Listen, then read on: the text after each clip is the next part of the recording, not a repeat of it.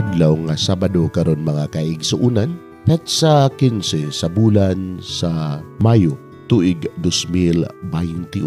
Ang pagbasa kinutlo gikan sa Ebanghelyo sumala ni San Juan kapitulo 16 bersikulo 23 ngadto sa 28. Si Jesus mingon ngadto sa iyang mga tinunan. Sultihan ko kamo ang amahan mo hatag kaninyog bisag unsay inyong pangayoon kaniya pinaagi sa akong ngalan. Hangtod karon wala pa kamo mangayo og bisan unsa pinaagi sa akong ngalan. Pangayo og kamuhatagan aron mahingpit ang inyong kalipay.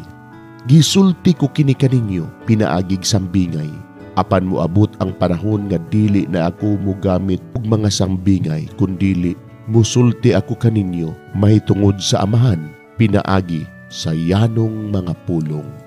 Inigabot ni adtong adlawa, mangayo kamo kaniya pinaagi sa akong ngalan, ug ako dili mo ingon nga ako maoy mangayo alang kaninyo. Kay ang amahan mismo nahigugma man kaninyo. Nahigugma siya kaninyo kay nahigugma man kamo kanako ug mituo nga ako gikan sa Dios. Tinuod nga ako gikan sa amahan ug mianhi sa kalibutan. Ug karon mobiya ako sa kalibutan ug mobalik sa amahan. Mga igsuon ang ebanghelyo sa Ginoo. Daigon ikaw o Kristo.